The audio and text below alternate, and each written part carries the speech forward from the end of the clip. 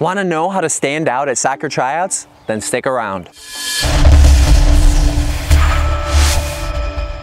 Hey, I'm Dylan Joseph, soccer trainer, number one best-selling Amazon author. To increase your skills, learn how to overcome average performances, as well as boost your soccer self-esteem, make sure to subscribe and hit that bell icon. And stick around to the end of this video to learn what coaches are doing, where you'll need to actually get their attention. Today we're discussing the easiest thing that you can do to stand out at tryouts. And honestly, this is a bit of a cheat code in terms of making it a lot easier for the coaching staff to select you for their team. It takes no skill whatsoever as a soccer player but ensures every single time that you get noticed by the coaches. So what is the tip? The tip is to communicate. So what does it mean to communicate? Well, let's dive in exactly what you should be doing to communicate effectively at your tryouts. Communicating is best used in any scrimmages or small-sided games that allows you to direct other players what to do.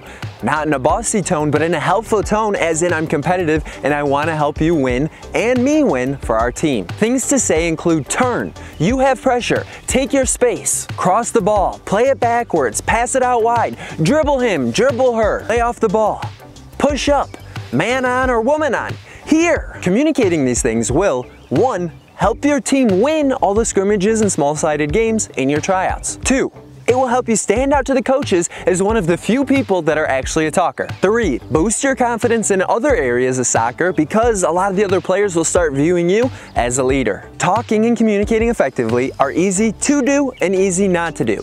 And think about it, you don't need good defensive positioning, you don't need quick foot skills, you don't need a rocket of a shot in order to stand out by just communicating. Because the coach hears you more, it'll make sure that they see you more. And this does two very important things. The first is it ensures that you get a fair look. Second, it makes it seem like you're working harder and doing more because the coaching staff and the coach keeps noticing you. Could you give this video a like? A coach, they often associate the players that talk the most as being good players. Whether they're good or not, them talking, it's easier for the coach to be like, oh yeah, that's a good player, they know what they're doing.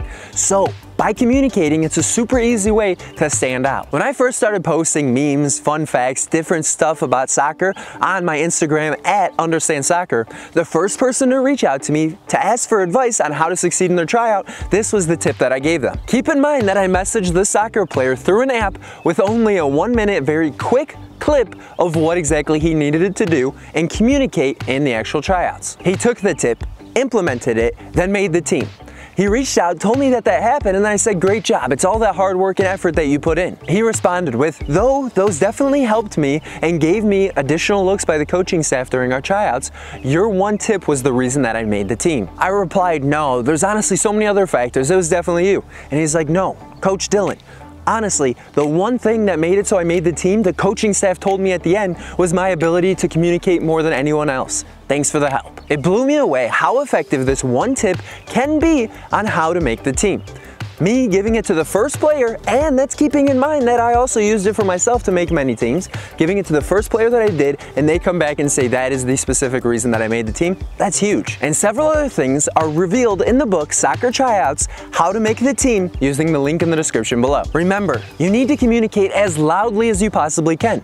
Keep in mind that the coaching staff is often several, several yards away and on the sidelines and away from you, so if they can't hear you, it doesn't count. You need to communicate super loudly so your teammates and the coaching staff can definitely hear you. Often, coaches are talking to other coaches and other players on the sidelines, so they don't have to look at you.